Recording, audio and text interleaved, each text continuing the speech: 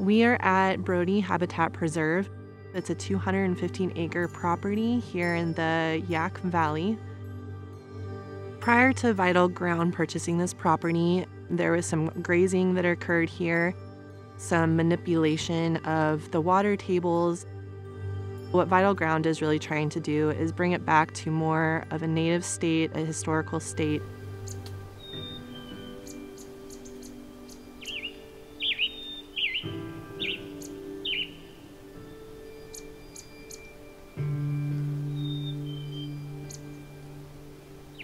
As part of the environmental site assessment, we did a thorough historical photo analysis. Since 1947, we have seen a reduction in shrubland habitat of about 77% due to active clearing of the landscape uh, for agriculture and grazing. And that has reduced habitat for not only uh, keystone species like grizzly bear, but also for birds, deer and elk and moose. Shrubland restoration uh, plantings are phase one of, of restoring this property. We have 1,500 shrubs. We need to plant them in enclosures. The purpose of those enclosures is to keep wildlife out while the saplings are growing. And then inside the 50 by 50 foot enclosures, they will be planting 100 plants of various species like currants, chokecherry, serviceberry, various willow species, things like that. Phase two will occur next year.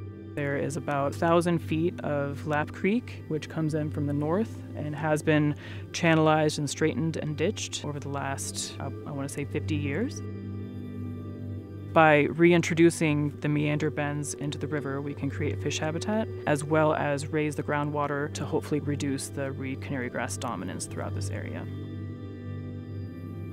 I think some of the benefits of, of projects like this also extend beyond the project itself. Typically when we talk about uh, easements, we talk about acquisitions, we're talking about things that uh, outlive those of us that are here now. When you are in the wildlife field, you have to come into it with the understanding that whatever you're doing today just because I may not see the benefits down the road, I will hopefully be able to bring my daughter or her daughter will be able to bring her granddaughter back here one day. And they will see the benefits of a restoration project like this, the most successful state that it can be in.